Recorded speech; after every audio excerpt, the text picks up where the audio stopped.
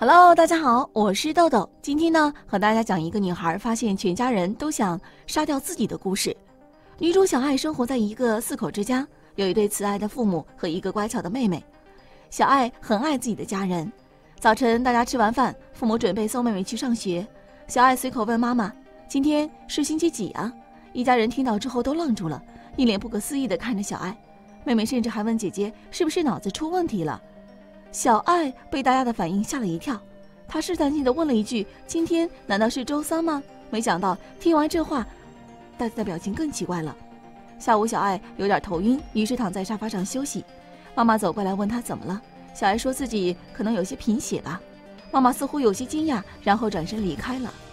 晚上，爸爸回家之后，妈妈告诉了爸爸小爱贫血的事情。小爱隐隐约约感到这个似乎是个很严重的事情。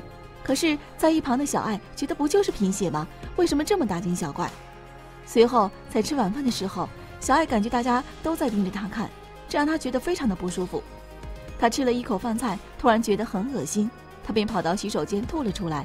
她问妈妈为什么做这么难吃的东西，但大家都没有理她，反而都吃得很香。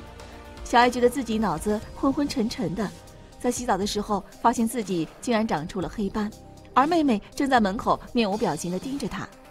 晚上，小爱睡觉的时候突然觉得很口渴，想要喝水，没想到刚打开灯就看到妹妹手里拿着针筒，正准备给她注射什么。小爱很害怕，一把推倒了妹妹。爸妈闻声赶来，急忙带走了妹妹，把小爱关进了屋里。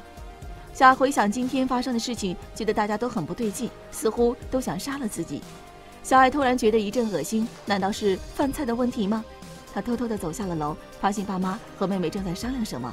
凑过去一听，原来他们正在商量处理掉小爱，因为小爱最近开始出现失忆和贫血的症状，这意味着小爱的寿命快要结束了，要尽快处理掉。